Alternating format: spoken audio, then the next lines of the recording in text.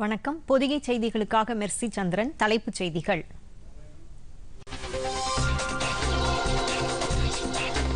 Corona தொற்றுக்கு எதிராக நாடே ஒன்றுபட்டு நிற்பதை உறுதி செய்ய இன்றிரவு ஒன்பது மணிக்கு விளக்குகளால் ஒளிரச் செய்ய பிரதமர் நரேந்திர மோடி வேண்டுகோள்.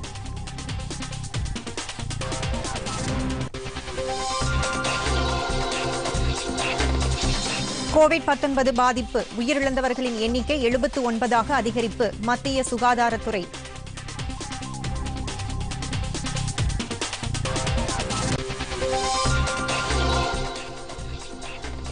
பள்ளி கல்லூரிகள் திறப்பது குறித்து ஏப்ரல் பதினான்காம் தேதி முடிவு. அமைச்சர் ரமேஷ் பொக்ரியால் அறிவிப்பு.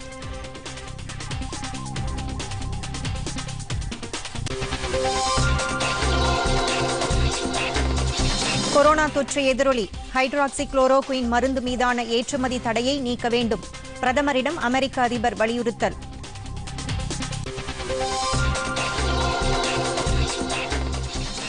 தமிழ்நாட்டில் கோவிட் 19 தொற்றால் மேலும் எண்பத்தாறு பேர் பாதிப்பு. சுகாதாரத்துறை செயலாளர் பீலா ராஜேஷ்.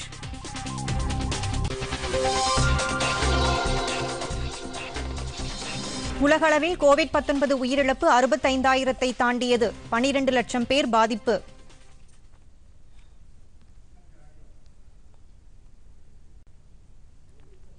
இனி விரிவான செய்திகள்.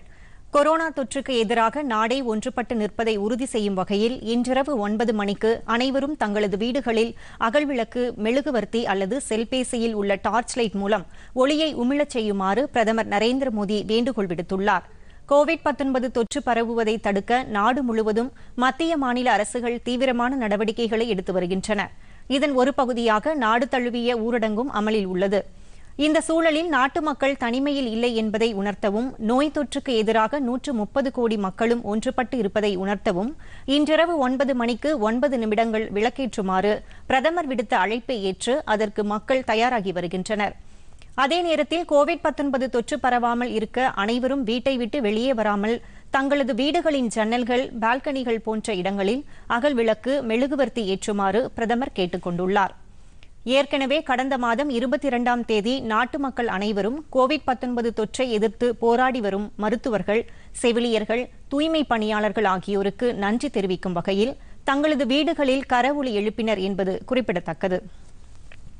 அதே நேரத்தில் இன்று மின்விளக்குகளை மட்டுமே அணைக்க வேண்டும் என்றும் குளிர்சாதன பெட்டி உள்ளிட்ட இதர பயன்பாட்டிற்கான மின்சார இணைப்பை அணைக்க வேண்டாம் என்றும் தமிழ்நாடு மின்சார வாரியமும் மத்திய எரிசக்தி அமைச்சகமும் கேட்டுக் கொண்டுள்ளது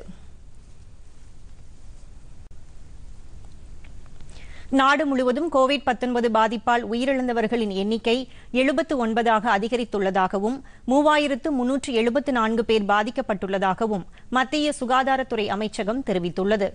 புதுதில்லியில் இன்று செய்தியாளர்களிடம் பேசிய சுகாதாரத்துறை இணைச் செயலாளர் லாவ் அகர்வால் கடந்த இருபத்தி நான்கு மணி நேரத்தில் நானூற்று எழுபத்தி இரண்டு பேருக்கு புதிதாக தொற்று உறுதி செய்யப்பட்டுள்ளதாகவும் பதினோரு பேர் உயிரிழந்துள்ளதாகவும் அவர் தெரிவித்தார்.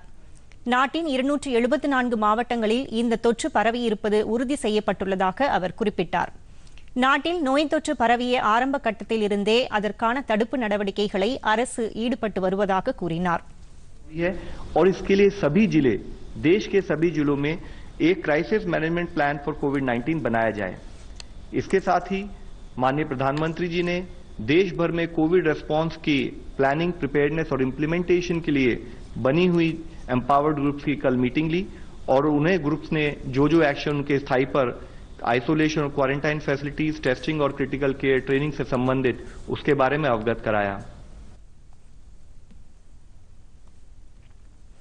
பொது இடங்களில் எச்சில் துப்புவதால் கொரோனா தொற்று நோய் பரவும் என்றும் இந்த செய்தியாளர் சந்திப்பில் பங்கேற்ற சுகாதாரத்துறை அதிகாரிகள் தெரிவித்தனர் சமூக விலகலும் தனிமைப்படுத்திக் கொள்ளலுமே கொரோனா தொற்றை முறியடிக்கும் ஒரே வழி என்று அவர்கள் தெரிவித்தனர் மகாராஷ்டிராவில் மும்பையில் மேலும் இருபத்தொன்பது பேருக்கு நோய் தொற்று உறுதி செய்யப்பட்டதை அடுத்து அம்மாநிலத்தில் பாதிக்கப்பட்டவர்களின் எண்ணிக்கை அறுநூற்று தொன்னூறாக உயர்ந்துள்ளது. மகாராஷ்டிரா மாநிலத்தில் இதுவரை முப்பத்தி இரண்டு பேர் உயிரிழந்துள்ளனர். ஐம்பத்தி இரண்டு பேர் சிகிச்சைக்கு பின் குணமாகியுள்ளனர். இதற்கிடையே காற்றின் மூலம் கோவிட் 19 பரவுவதற்கான ஆதாரமில்லை என்று இந்திய மருத்துவ ஆராய்ச்சி கவுன்சில் தலைவர் டாக்டர் ராமன் கங்கா கேத்கர் தெரிவித்துள்ளார்.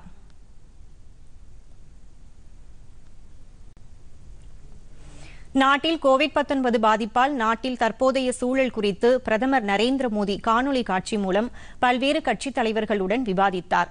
முன்னாள் குடியரசுத் தலைவர்கள் பிரணாப் முகர்ஜி பிரதீபா பாட்டீல் முன்னாள் பிரதமர்கள் மன்மோகன் சிங் தேவேகவுடா காங்கிரஸ் தலைவர் சோனியா காந்தி உள்ளிட்ட முக்கிய தலைவர்களுடன் அவர் பேசியதாக தகவல்கள் தெரிவிக்கின்றன. திமுக தலைவர் மு ஸ்டாலின் சமாஜ்வாதி கட்சியைச் சேர்ந்த முலாயம் சிங் யாதவ் அகிலேஷ் யாதவ் மேற்குவங்க முதலமைச்சர் மம்தா பானர்ஜி ஒரிஷா முதலமைச்சர் நவீன் பட்நாயக் சிரோன்மணி அகாலிதள் தலைவர் பிரகாஷ் சிங் பாதல் ஆகியோருடனும் பிரதமர் விவாதித்துள்ளார். மேலும் நாடாளுமன்ற மக்களவை மற்றும் மாநிலங்களவையில் உள்ள பல்வேறு கட்சித் தலைவர்களுடன் வரும் புதன்கிழமை அன்று காணொலி காட்சி மூலம் பிரதமர் மோடி விவாதிக்கவுள்ளார்.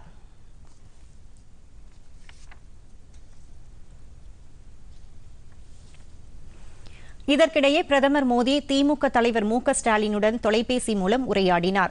அப்போது மு ஸ்டாலின் தாயார் தயாளு அம்மாளின் உடல்நலம் குறித்தும் அவரது நலன் குறித்தும் விசாரித்தார்.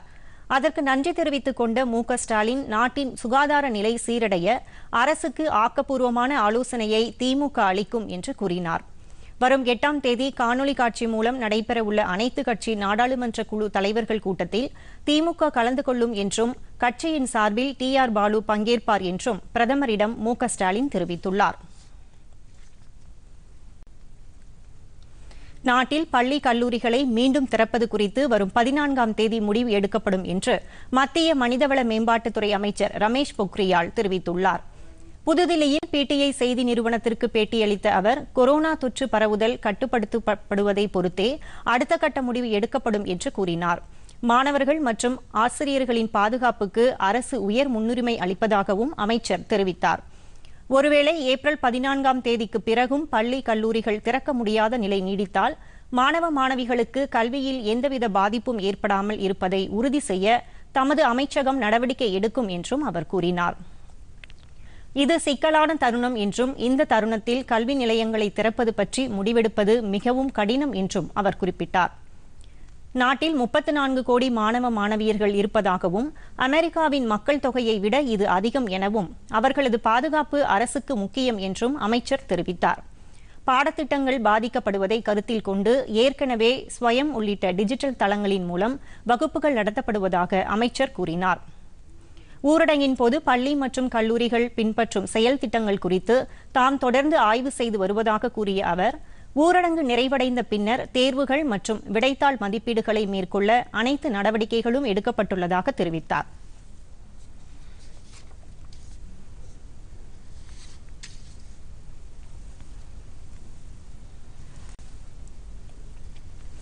நாட்டில் ஊரடங்கு உத்தரவு அமல்படுத்தப்பட்டு வரும் நிலையில் பொதுமக்களின் பயன்பாட்டிற்கான சர்க்கரை உப்பு சமையல் எண்ணெய் உள்ளிட்ட அத்தியாவசிய பொருட்களை இந்திய ரயில்வே மூலம் சீராக விநியோகம் செய்யப்பட்டு வருகின்றது. கடந்த மாதம் இருபத்தி மூன்றாம் தேதி முதல் நேற்றைய தினம் வரை ஆயிரத்து முன்னூற்று நாற்பத்தி இரண்டு சரக்கு பெட்டிகளில் சர்க்கரையும் தொள்ளாயிரத்து ஐம்பத்தெட்டு சரக்கு பெட்டிகளில் உப்பும் முன்னூற்று இருபத்தெட்டு சரக்கு பெட்டிகளில் சமையல் எண்ணெயும் ரயில்வே மூலம் எடுத்து செல்லப்பட்டுள்ளது. ஒவ்வொரு சரக்கு பெட்டியிலும் ஐம்பத்தாறு முதல் அறுபது டன் எடை அளவிலான பொருட்கள் எடுத்து செல்லப்பட்டுள்ளன.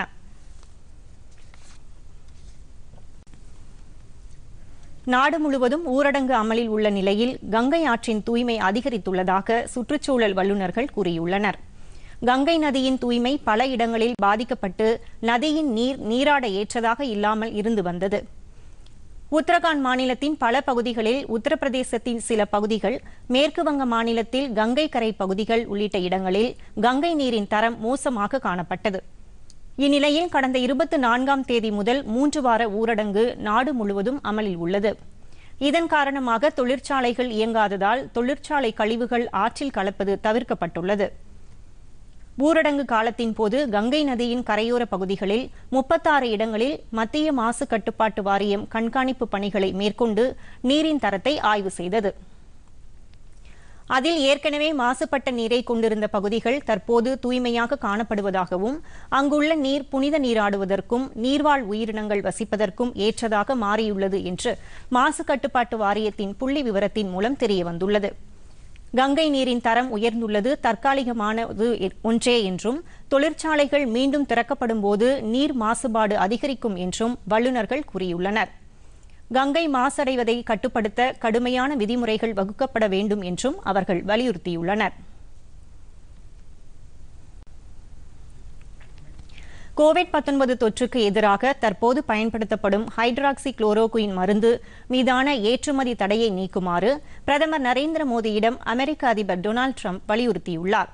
கோவிட் 19 தொற்றால் உலகிலேயே அதிகமானோர் பாதிக்கப்பட்ட நாடாக அமெரிக்கா திகழ்கிறது.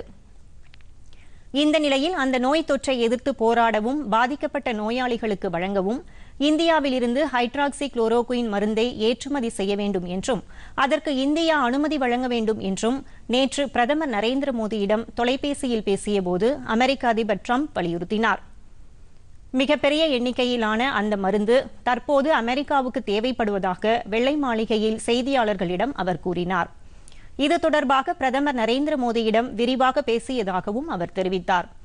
இந்தியாவிலிருந்து ஹைட்ராக்சி குளோரோகுயின் மருந்தை ஏற்றுமதி செய்ய கடந்த மாதம் இருபத்தைந்தாம் தேதி வெளிநாட்டு வர்த்தக தலைமை இயக்குநர் அலுவலகம் தடை செய்தது. சுதந்திர போராட்ட வீரரும் முன்னாள் துணை பிரதமருமான பாபு ஜெகஜீவன் ராமின் பிறந்த தினத்தை ஒட்டி பிரதமர் நரேந்திர மோடி வாழ்த்துச் செய்தி வெளியிட்டுள்ளார். இதுகுறித்து அவர் வெளியிட்டுள்ள அறிக்கையில் ஏழைகள் நலிந்தவர்கள் மற்றும் பாதிக்கப்பட்டவர்களின் உரிமைகளுக்காக போராடிய சுதந்திர போராட்ட வீரர் பாபு ஜெகஜீவன் ராமின் பிறந்த நாளில் பணிவு அஞ்சலி செலுத்துவதாக குறிப்பிட்டுள்ளார்.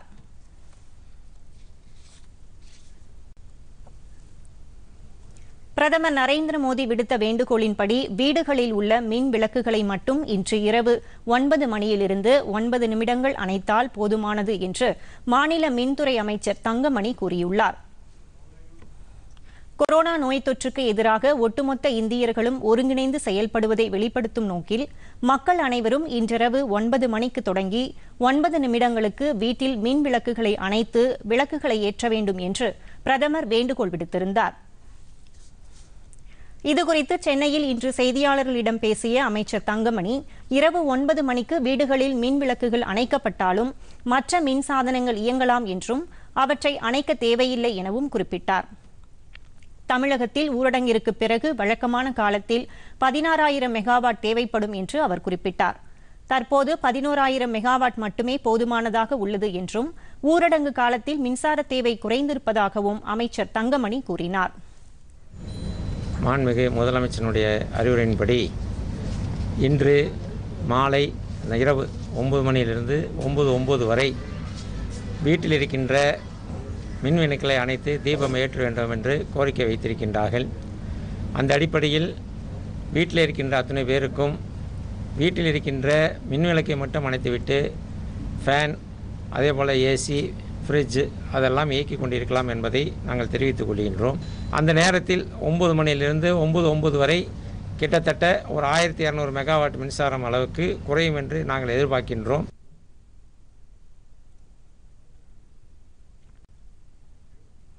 கொரோனா வைரஸ் தாக்குதலை தடுக்கும் நோக்கில் முகக்கவசங்கள் மருத்துவ கவச உடைகள் உள்ளிட்டவை தயாரிக்கும் பணிகளில் மத்திய குறு சிறு நடுத்தர தொழில் நிறுவனங்கள் அமைச்சகத்தின் கீழ் செயல்படும் பதினெட்டு நிறுவனங்கள் பெரும் பங்காற்றி வருவதாக மத்திய அரசு கூறியுள்ளது.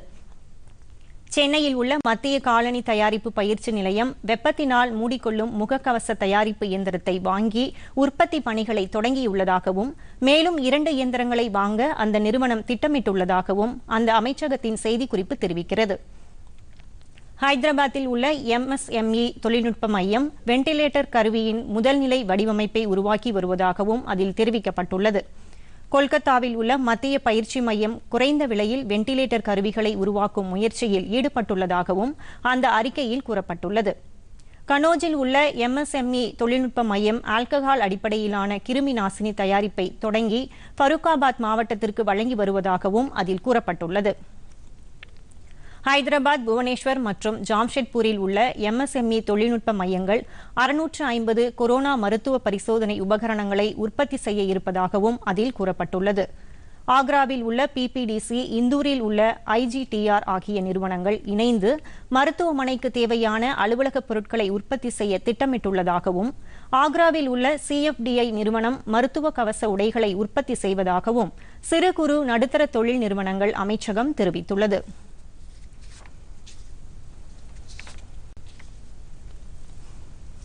ஊரடங்கு காலத்தில் விவசாயிகள் எந்த பிரச்சனையையும் எதிர்கொள்ளவில்லை என்று மத்திய வேளாண் அமைச்சர் நரேந்திர சிங் தோமர் கூறியிருக்கிறார். இதுகுறித்து அவர் விடுத்துள்ள டுவிட்டர் செய்தியில் வேளாண் சாகுபடி பணிகளுக்கு ஊரடங்கு உத்தரவில் இருந்து அரசு விலக்கு அளித்துள்ளது என்று கூறினார். வேளாண் விளைபொருட்களை விற்பனை செய்யும் கடைகள் உரம் மற்றும் உழவு கருவிகளை விற்பனை செய்யும் கடைகள் திறக்கப்பட்டிருப்பதாகவும் அவர் தெரிவித்தார். வேளாண்மை மற்றும் அது சார்ந்த தொழில்களுக்கு ஊரடங்கு உத்தரவில் இருந்து அரசு விலக்கு அளித்துள்ளதாகவும் ஊரடங்கு உத்தரவு அமலுக்கு வந்த பின்னர் எந்தவொரு மாநிலத்திலும் விவசாயிகள் பாதிக்கப்படவில்லை என்றார்.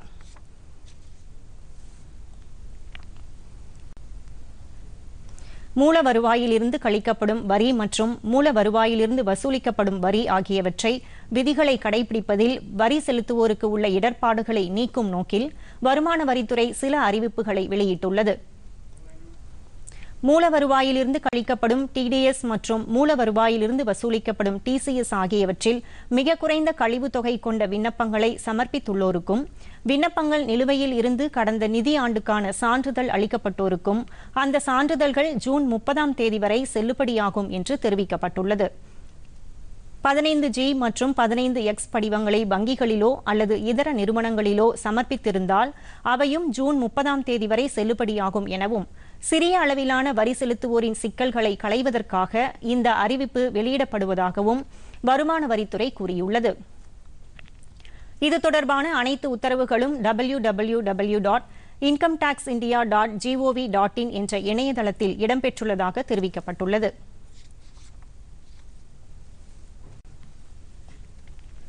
நாடு முழுவதும் கோவிட் 19 தொற்று அதிகரித்து வருவதை அடுத்து ஆக்ஸிஜன் தட்டுப்பாடு இல்லாமல் பார்த்துக் கொள்ள வேண்டும் என்று அனைத்து மாநில அரசுகள் மற்றும் யூனியன் பிரதேச நிர்வாகத்தை மத்திய அரசு உஷார்படுத்தியுள்ளது. இதுகுறித்து அனைத்து மருத்துவமனைகளுக்கும் மத்திய அரசு சார்பில் உரிய வழிகாட்டுதல்கள் அனுப்பப்பட்டுள்ளன. கோவிட் 19 நோயாளிகளுக்கு மூச்சு திணறல் ஏற்பட்டால் அவர்களுக்கு ஆக்ஸிஜன் வழங்குவது தடைப்படக்கூடாது என்று கேட்டுக் கொண்டுள்ளது இதுகுறித்து அனைத்து மாநில தலைமைச் செயலாளர்களுக்கு மத்திய சுகாதாரத்துறை மூத்த அதிகாரி வந்தனா கர்னானி கடிதம் ஒன்றை எழுதியுள்ளார். ஆக்ஸிஜன் போதிய அளவு கிடைக்க அகில இந்திய தொழிற்சாலை வாயு தயாரிப்பாளர் சங்கத்தின் கட்டுப்பாட்டு அறையை தொடர்பு கொள்ளுமாறும் அரசு அறிவுறுத்தியுள்ளது. ஆக்ஸிஜன் கொண்டு செல்லப்படும் சாதனங்கள் நோய் தொற்று இல்லாமல் இருப்பதை உறுதிப்படுத்த வேண்டும் என்றும் திரவ மருத்துவ ஆக்ஸிஜன் போதுமான அளவு இருப்பு வைத்திருக்க வேண்டும் என்றும் மாநில அரசுகளை மத்திய அரசு கேட்டுக் கொண்டுள்ளது மேலும் சீனாவிலிருந்து பத்தாயிரம் செயற்கை சுவாச கருவிகளை இறக்குமதி செய்யவும் உள்ளூரில் நாற்பதாயிரம் செயற்கை சுவாச கருவிகளை தயாரிக்கவும் அரசு திட்டமிட்டுள்ளது. மேலும் கோவிட் 19 தொற்று உள்ள வார்டுகளை சுத்தமாக வைத்திருக்கவும் அவ்வப்போது நோய் தொற்று தடுப்பு கிருமி நாசினிகளை தெளிக்க வேண்டும் என்றும் அறிவுறுத்தப்பட்டுள்ளது.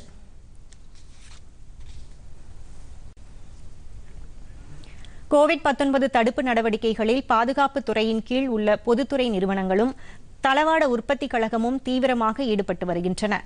ஆறு மாநிலங்களில் உள்ள பத்து மருத்துவமனைகளில் இருநூற்று எண்பது தனிமைப்படுத்தல் சிகிச்சைக்காக படுக்கை வசதிகளை ஏற்படுத்த தளவாட உற்பத்தி கழகம் திட்டமிட்டுள்ளது.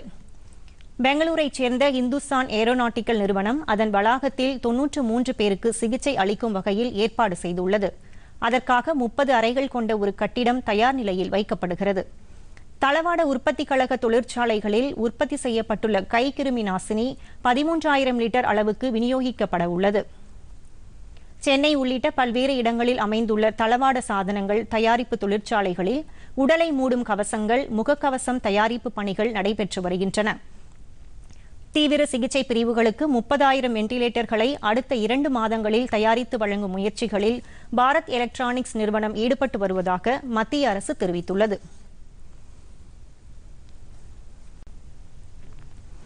ஹைதராபாத்தை தலைமையிடமாக கொண்டு செயல்படும் தனியார் உயிரி தொழில்நுட்ப நிறுவனம் கோவிட் நோய் தொற்றுக்கு எதிரான தடுப்பு மருந்தை உருவாக்கும் முயற்சியில் தீவிரமாக ஈடுபட்டுள்ளது. விஸ்கான்சின் மேடிசன் பல்கலைக்கழக கூட்டு முயற்சியில் இந்த மருந்து தயாரிக்கப்படுவதாக பாரத் பயோடெக் நிறுவன தலைவர் டாக்டர் ராசஸ் எல்லா தெரிவித்துள்ளார். இந்நிறுவனம் ஏற்கனவே தடுப்பு மருந்து ஒன்றை கண்டுபிடித்து பரிசோதனை செய்து வருகிறது. தடுப்பு மருந்தை உருவாக்கும் பணியில் ஈடுபட்டுள்ள இந்நிறுவனம் உலக அளவில் விநியோகம் செய்வதற்காக முன்னூறு மில்லியன் தடுப்பூசிக்கான மருந்தை தயாரிக்க திட்டமிட்டுள்ளது.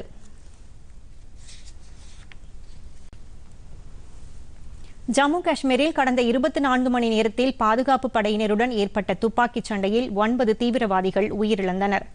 வடக்கு காஷ்மீரின் கேரன் பகுதியில் எல்லையில் சில தீவிரவாதிகள் ஊடுருவ முயன்றனர். அப்போது பாதுகாப்பு படையினர் தீவிரவாதிகளை தடுத்து நிறுத்தியபோது ஏற்பட்ட துப்பாக்கிச் சண்டையில் ஐந்து தீவிரவாதிகள் உயிரிழந்தனர். இந்த சண்டையின் போது ராணுவ வீரர் ஒருவர் வீர மரணமடைந்தார். இரண்டு வீரர்கள் காயமடைந்தனர். அப்பகுதியில் வானிலை மோசமாக உள்ளதாகவும் ஊடுருவ முயலும் தீவிரவாதிகளுக்கு எதிரான நடவடிக்கைகள் தொடர்ந்து நடைபெறுவதாகவும் ராணுவம் தெரிவித்துள்ளது. முன்னதாக தெற்கு காஷ்மீரின் பத்புரா பகுதியில் நான்கு தீவிரவாதிகள் பாதுகாப்பு படையினரால் சுட்டுக் கொல்லப்பட்டனர். தமிழகத்தில் மேலும் எண்பத்தாறு பேருக்கு கொரோனா தொற்று இருப்பதாக கண்டறியப்பட்டுள்ளது என்று தமிழக மக்கள் நல்வாழ்வுத்துறை செயலாளர் பீலா ராஜேஷ் கூறியுள்ளார். சென்னையில் இன்று செய்தியாளர்களிடம் பேசிய அவர் இதன் மூலம் தொற்று பாதித்தவர்களின் எண்ணிக்கை ஐநூற்று எழுபத்தொன்றாக அதிகரித்துள்ளது என்றார். தமிழகத்தில் மொத்தம் தொன்னூறாயிரத்து எட்நூற்று இருபத்தி நான்கு பேர் தனிமைப்படுத்தப்பட்டு வீட்டு கண்காணிப்பில் இருப்பதாக கூறினார். அரசு கண்காணிப்பில் நூற்று இருபத்தி ஏழு பேர் இருப்பதாகவும் அவர் தெரிவித்தார். பத்தாயிரத்து எட்நூற்று பதினான்கு பேருக்கு இருபத்தி எட்டு நாட்கள் கண்காணிப்பு நிறைவடைந்துள்ளதாகவும் அவர் கூறினார். கொரோனா தொற்று பாதித்த ஏழு பேர் தனியார் மருத்துவமனைகளில் சிகிச்சை பெற்று வருவதாகவும் அவர் தெரிவித்தார். தமிழகத்தில் இதுவரை நான்காயிரத்து அறுநூற்று பனிரெண்டு பேருக்கு கொரோனா தொற்று பரிசோதனை மேற்கொள்ளப்பட்டுள்ளதாகவும் பீலா ராஜேஷ் தெரிவித்தார். பரிசோதனைகளை விரைந்து மேற்கொள்ள மேலும் பல ஆய்வகங்கள் ஏற்படுத்தப்படும் என்றும் அதற்காக ஊழியர்களுக்கு பயிற்சி அளிக்கப்பட்டு தயார் நிலையில் வைக்கப்பட்டுள்ளதாகவும் அவர் குறிப்பிட்டார். தமிழகத்தில் தான் அதிக அளவு பரிசோதனைகள் மேற்கொள்ளப்பட்டுள்ளதாகவும் அவர் கூறினார்.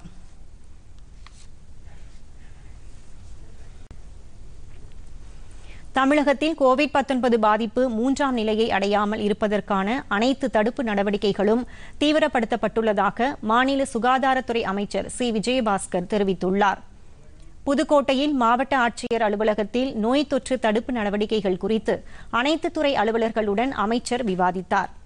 பின்னர் செய்தியாளர்களிடம் பேசிய அவர் அரசு மருத்துவமனைகளுக்கு நாள்தோறும் அறுபது முதல் எண்பதாயிரம் முகக்கவசங்கள் தேவைப்படுவதாக கூறினார். இதையடுத்து நாள்தோறும் ஒரு லட்சத்து இருபதாயிரம் முகக்கவசங்கள் அரசு மருத்துவமனைகளுக்கு அனுப்பி வைக்கப்படுவதாக தெரிவித்த அவர் தேவையான அளவு வெண்டிலேட்டர்கள் இருப்பில் உள்ளதாகவும் கூறினார்.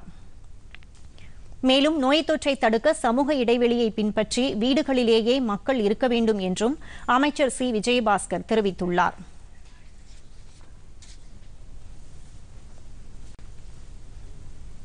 கொரோனா தொற்று குறித்த விழிப்புணர்வு படத்தை தமிழக அரசின் திரைப்பட பிரிவு வெளியிட்டுள்ளது. அதில் பாதுகாப்பான இடைவெளி கை கழுவுதல் அவசியம் ஆகியவை அனிமேஷன் முறையில் விளக்கப்பட்டுள்ளது.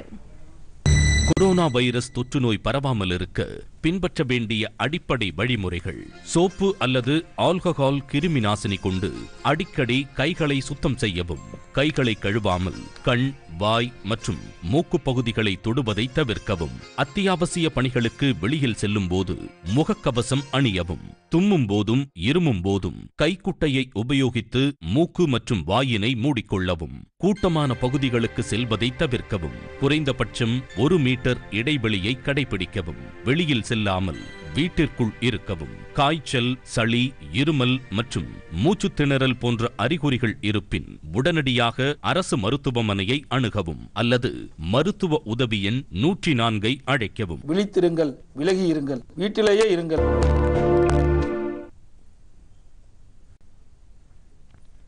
ஊரடங்கு விலக்கிக் கொள்ளப்பட்ட பின் படிப்படியாக நீதிமன்ற பணிகளை துவங்குவது தொடர்பாக கருத்துக்களை தெரிவிக்குமாறு சென்னை உயர்நீதிமன்றம் அனைத்து மாவட்ட முதன்மை நீதிபதிகள் மற்றும் புதுச்சேரி முதன்மை நீதிபதியிடம் கேட்டுக் கொண்டுள்ளது ஊரடங்கு உத்தரவினால் அவசர வழக்குகள் மட்டும் நீதிபதிகளின் வீடுகளில் காணொலி காட்சி மூலம் விசாரிக்கப்பட்டு வந்தது. இந்த விவகாரம் தொடர்பாக நாளை மறுநாள் சென்னை உயர்நீதிமன்ற தலைமை நீதிபதி ஏ பி சாகி அனைத்து மாவட்ட முதன்மை நீதிபதிகள் மற்றும் புதுச்சேரி முதன்மை நீதிபதியிடம் காணொலி காட்சி மூலம் விவாதிக்க உள்ளார். அன்றைய தினம் காலை பத்து மணிக்கு மாவட்ட முதன்மை நீதிபதிகள் காணொலி காட்சி விவாதத்தில் கலந்து கொள்ள வேண்டும் என்று உயர்நீதிமன்ற தலைமை பதிவாளர் வெளியிட்ட சுற்றறிக்கையில் குறிப்பிடப்பட்டுள்ளது. மத்திய அரசின் திட்டங்களின் கீழ் பணிபுரியும் வெளிமாநில ஒப்பந்த தொழிலாளர்களின் நலனை கருத்தில் கொண்டு அவர்களுக்கு அத்தியாவசிய பொருட்கள் விநியோகிக்கப்பட்டு வருகின்றன. இதன் ஒரு பகுதியாக பதினைந்து கிலோ அரிசி ஒரு கிலோ சமையல் எண்ணெய் ஒரு கிலோ பருப்பு உள்ளிட்டவை அடங்கிய தொகுப்பை தொழிலாளர் நலத்துறை துணை ஆணையர் முத்துமாணிக்கம் தொடங்கி வைத்தார். பதிமூன்றாயிரத்து இருநூற்று இருபத்தைந்து வெளிமாநில ஒப்பந்த தொழிலாளர்கள் பயன்பெறுவார்கள் என்று அவர் கூறினார்.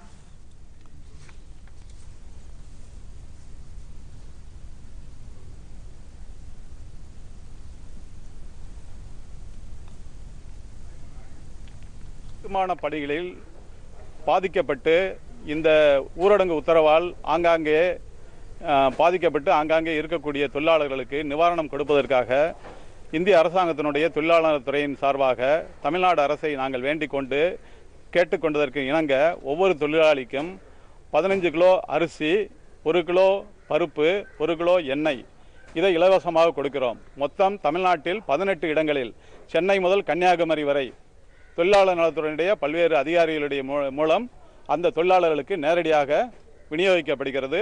இது மொத்தம் பதிமூணாயிரத்தி இருநூத்தி இருபத்தைந்து தொழிலாளர்கள் இதனால் பயனடைகிறார்கள்.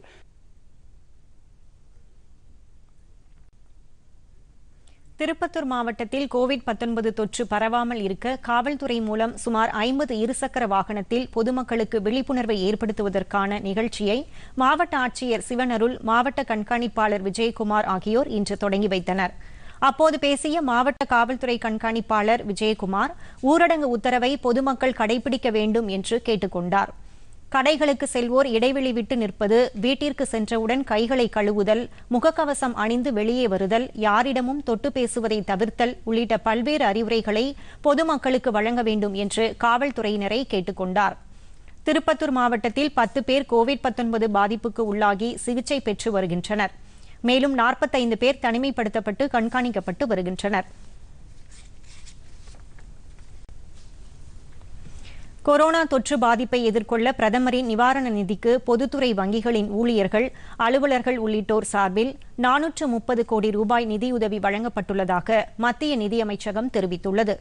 கொரோனா நோய் தொற்று தடுப்பு மற்றும் நிவாரண நடவடிக்கைகளுக்காக பிஎம் கேஸ் என்ற பெயரில் பிரதமரின் அவசரகால நிதி உருவாக்கப்பட்டுள்ளது.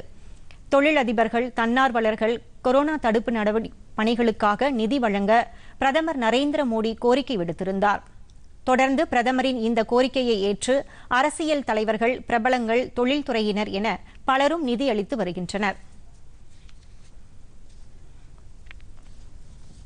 ஏற்கனவே பல்வேறு வங்கிகள் மற்றும் பொதுத்துறை நிறுவன ஊழியர்கள் பிரதமரின் நிதிக்கு பங்களிப்பை வழங்கிய நிலையில் இந்தியன் வங்கி ஊழியர்கள் ஒருநாள் ஊதியத்தை பிரதமரின் கொரோனா தடுப்பு நிதிக்கு வழங்குவதாக அறிவித்துள்ளனர்.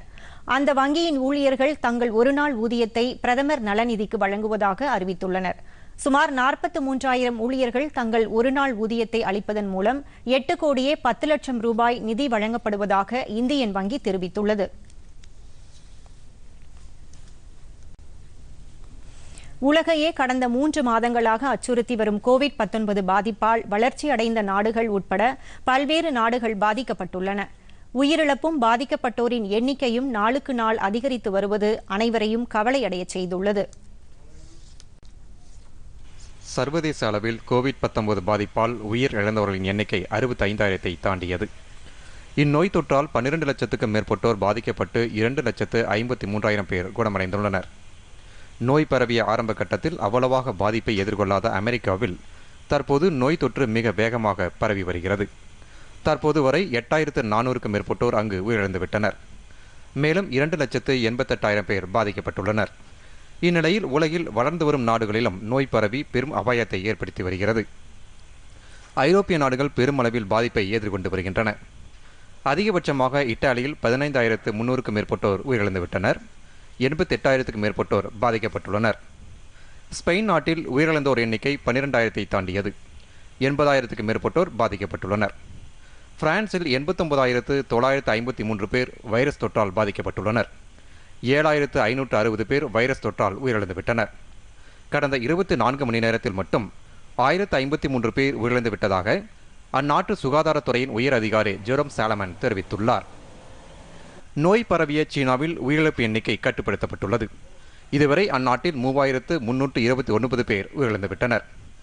பாதிக்கப்பட்ட எண்பத்தோராயிரம் பேரில் எழுபத்தாறாயிரம் பேர் சிகிச்சைக்கு பின் குணமடைந்துள்ளனர். ஈரானில் மூவாயிரத்து அறுநூறு பேர் உயிரிழந்த நிலையில் முப்பத்தி நான்காயிரம் பேர் பாதிக்கப்பட்டுள்ளனர். இங்கிலாந்தில் நான்காயிரத்து முன்னூறு பேர் உயிரிழந்தனர். முப்பத்தி ஏழாயிரம் பேர் பாதிக்கப்பட்டுள்ளனர். பாகிஸ்தானில் நாற்பத்தைந்து பேர் உயிரிழந்த நிலையில் இரண்டாயிரத்து அறுநூறுக்கும் மேற்பட்டோர் பாதிக்கப்பட்டுள்ளனர். Latvia Kuwait Slovakia Ivory Coast பாலஸ்தீனம் ஜார்ஜியா கிர்கிஸ்தான் புருனே உள்ளிட்ட நாடுகளில் மிக குறைந்த அளவாக தலா ஒருவர் மட்டுமே உயிரிழந்துள்ளனர்.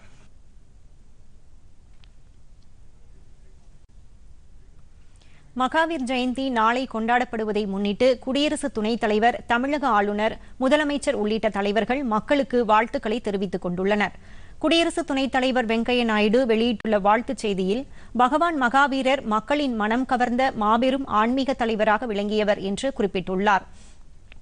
நெருக்கடியான இந்த காலகட்டத்தில் மகாவீரரின் வாழ்க்கையை முன் உதாரணமாக கொண்டு மக்கள் உத்வேகத்தை பெற வேண்டும் என்றும் அவர் கேட்டுக் கொண்டுள்ளார். தமிழக ஆளுநர் பன்வாரிலால் புரோஹித் விடுத்துள்ள வாழ்த்துச் செய்தியில் பகவான் மகாவீரரின் போதனைகளான அகிம்சை அமைதி ஆகியவை நமது கலாச்சாரத்தை வலுப்படுத்தியுள்ளதாக தெரிவித்துள்ளார்.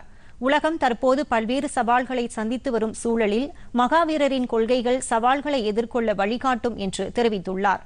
சகிப்புத்தன்மையுடன் நடந்து கொண்டு அனைவர் மீதும் அன்பு செலுத்தி அனைவருக்கும் சேவை செய்து மகாவீரர் காட்டிய பாதையில் அனைவரும் நடக்க வேண்டும் என்று ஆளுநர் கேட்டுக் கொண்டுள்ளார்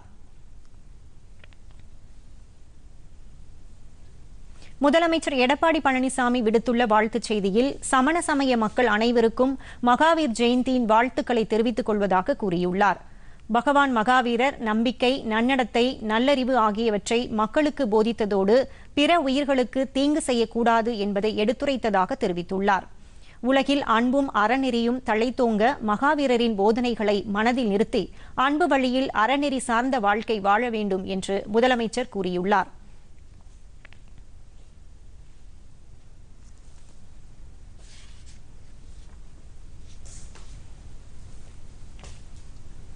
மனிதனாக பிறந்து உலகில் இன்ப துன்பங்களோடு போராடி உயர்ந்த நிலையை அடைந்தவர் மகாவீரர் என்று தமாக தலைவர் ஜி கே வாசன் தமது வாழ்த்துச் செய்தியில் கூறியுள்ளார். மக்களிடையே அகிம்சையை பரப்புவதற்காகவே தமது வாழ்க்கையை அர்ப்பணித்தவர் என்றும் அவர் குறிப்பிட்டுள்ளார்.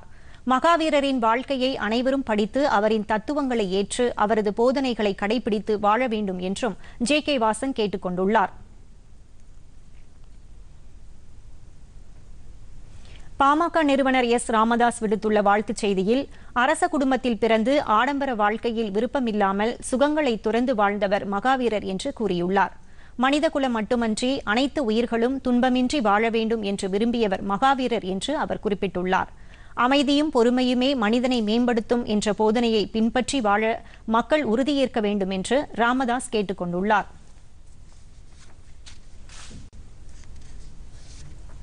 தமிழகம் மற்றும் புதுச்சேரியில் ஓரிரு இடங்களில் இன்றும் நாளையும் லேசான மழை பெய்ய வாய்ப்பு இருப்பதாக சென்னை வானிலை ஆய்வு மையம் தெரிவித்துள்ளது. இது தொடர்பாக அந்த மையம் இன்று வெளியிட்டுள்ள அறிக்கையில் மதுரை தேனி திண்டுக்கல் விருதுநகர் தூத்துக்குடி திருநெல்வேலி கன்னியாகுமரி ஆகிய மாவட்டங்களில் சில இடங்களில் மழை பெய்ய வாய்ப்பிருப்பதாக கூறப்பட்டுள்ளது. மற்ற பகுதிகளில் வறண்ட வானிலையே நிலவும் என கூறப்பட்டுள்ளது. சென்னையை பொறுத்தவரை காலை நேரத்தில் வானம் மேகமூட்டத்துடன் காணப்படும் என்றும் அதிகபட்ச வெப்பநிலை முப்பத்தைந்து டிகிரி செல்சியஸாகவும் குறைந்தபட்ச வெப்பநிலை இருபத்தி ஆறு டிகிரி செல்சியஸாகவும் பதிவாகும் என வானிலை ஆய்வு மையம் தெரிவித்துள்ளது.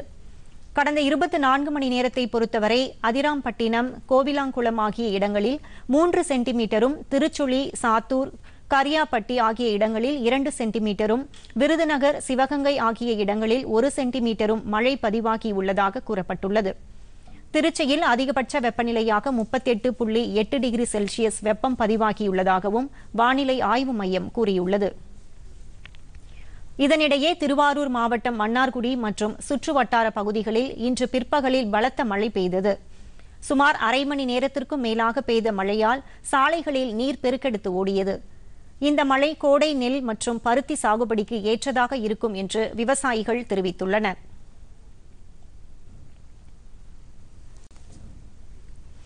மீண்டும் தலைப்புச் செய்திகள். கொரோனா தொற்றுக்கு எதிராக நாடே ஒன்றுபட்டு நிற்பதை உறுதி செய்ய இன்றிரவு ஒன்பது மணிக்கு விளக்குகளால் ஒளிரச் செய்ய பிரதமர் நரேந்திர மோடி வேண்டுகோள்.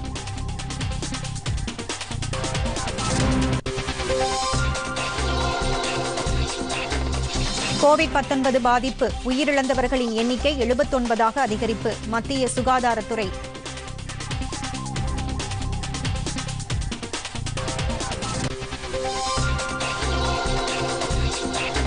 பள்ளி கல்லூரிகள் திறப்பது குறித்து ஏப்ரல் பதினான்காம் தேதி முடிவு. அமைச்சர் ரமேஷ் பொக்ரியால் அறிவிப்பு.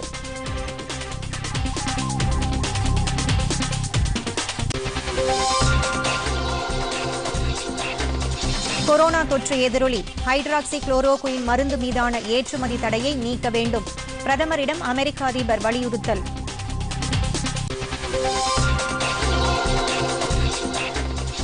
தமிழ்நாட்டில் கோவிட் 19 தொற்றால் மேலும் எண்பத்தாறு பேர் பாதிப்பு. சுகாதாரத்துறை செயலாளர் பீலா ராஜேஷ்.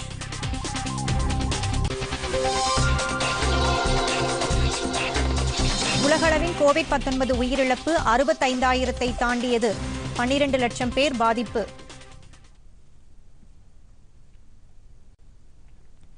பொதிகை செய்திகளை யூடியூபில் தமிழ் நியூஸ் தூர்தர்ஷன் என்ற சேனலிலும் ட்விட்டரில் Tamil news Doordarshan at DD news Chennai என்ற பக்கத்திலும் காணலாம்.